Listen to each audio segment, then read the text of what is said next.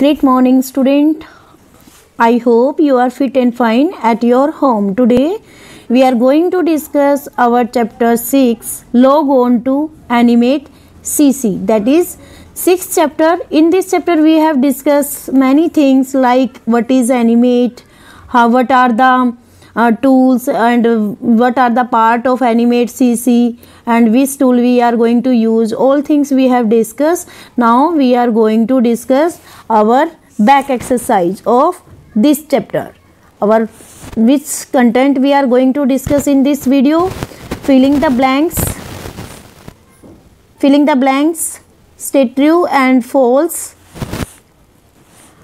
applications based questions multiple choice questions we are going to discuss in this video now first fill-ups is first fill-ups is a dash is the area where you create your drawing drawing जो हम create करते हैं वो कौन सा area होता है that is stage in Animate C C there is a state that is a working area where we can uh, write anything we can make anything in this. Now dash is the area that is used to control the sequencing and timing uh, of graphic and other element of movie means जो हमारी movies होती हैं जो भी हम animate create करते हैं तो उसमें जो कंट्रोल है सीक्वेंसिंग का और टाइमिंग का who give that is time line in time line we can give the control our video, okay? Now next, the dash tool is used to draw a star with the five side. Means जो हमारी rectangle से ज़्यादा जो भी sides बनती हैं तो वो हमारी किसमें आती हैं? पोली स्टार ऑप्शन में। किसमें? Poly star poly star tool जो है, हम यूज़ कर सकते हैं स्टार ड्रॉ करने के लिए okay now we are going to discuss our next next fill ups is dash option can also use to modify the document setting देखो, इसी में आंसर है इसका मॉडिफाई द डॉक्यूमेंट मीन्स अगर हमें डॉक्यूमेंट को मॉडिफाई करना है मीन्स चेंज करना है तो हम इसी सेटिंग में, ये हमारा मेन्यू अवेलेबल होता है इसके अंदर. मॉडिफाई में हम डॉक्यूमेंट को सेट करेंगे. ठीक है? Now next is the dash is a default mode of of the setting pencil tool when is selected जब हम पेंसिल टूल को सिलेक्ट करते हैं तो कौन सा मोड हम यूज़ करते हैं? That is statement okay now next using dash tool you can modify the start and and angle of the oval so इसमें भी यही आंसर है। ओवल दिया हुआ है तो ओवल के लिए हम ओवल प्रीमेटिव टूल ही यूज़ करेंगे। Okay now we are going to discuss our next slide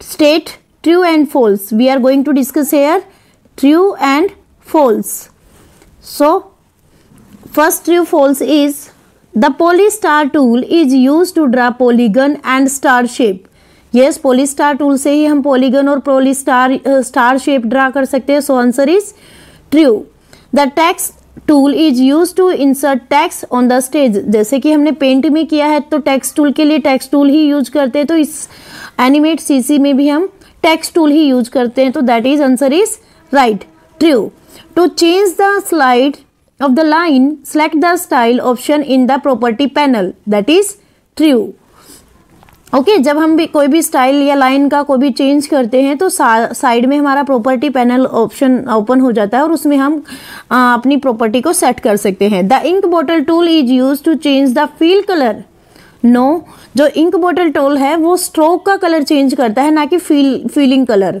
so that is answer is false the shortcut key for the pencil tool is P जो पेंसिल टूल है, उसके लिए shortcut की ये हमारी जो पी शॉर्टकट की है, वो हमें पेन के लिए अवेलेबल है. पी जो शॉर्टकट की है, वो पेन के लिए अवेलेबल है. So that is answer is false to quickly delete everything from the stage double click on the eraser tool जैसे ही हमें स्टेज पे से जल्दी से कुछ भी डिलीट करना है तो when we press our eraser twice then we can erase immediately okay now we continue our next next is our next option is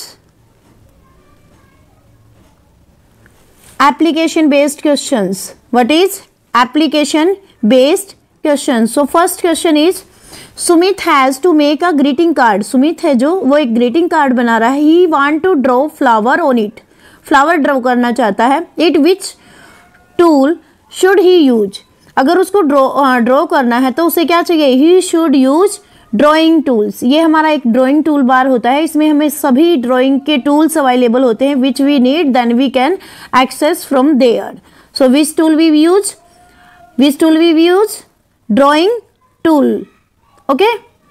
Now, we are going to discuss, these are our drawing tool. Now, you can see there Kartik has drawn a beautiful scenery Kartik ने क्या किया है beautiful scenery create की है he want to colour it but he does not know how to do it suggest the right option to do so means उसे क्या करना है कि सीनरी क्रिएट की है और उसमें कलर फिल करना है तो कलर फील करने के लिए हमें टूल अवेलेबल है. What is paint bucket tool which tool paint bucket tool available okay so we use this tool bar for colouring now next is MCQ questions MCQ question so first question is which of the following modifier of the brush tool is brush tool is brush tool allow you to paint the blank area. Okay?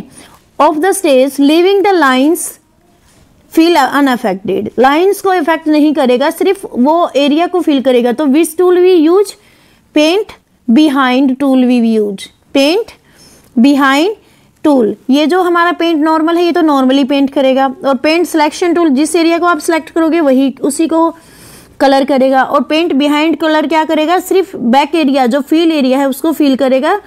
आपकी lines को affect नहीं करेगा okay okay?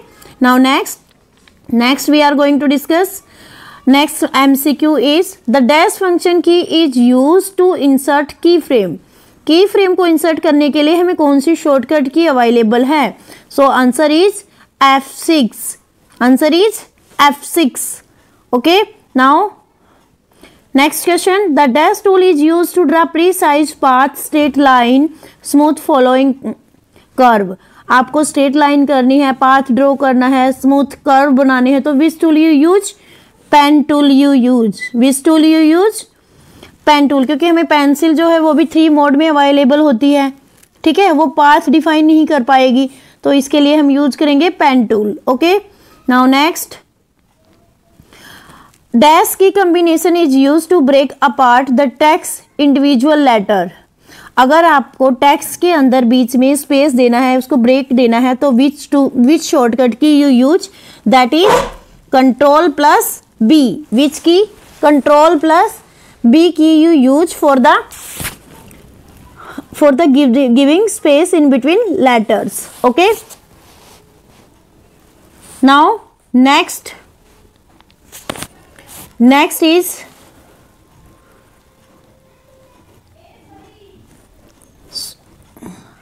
I hope you understand in better way all the back exercise. Thank you. Have a nice day.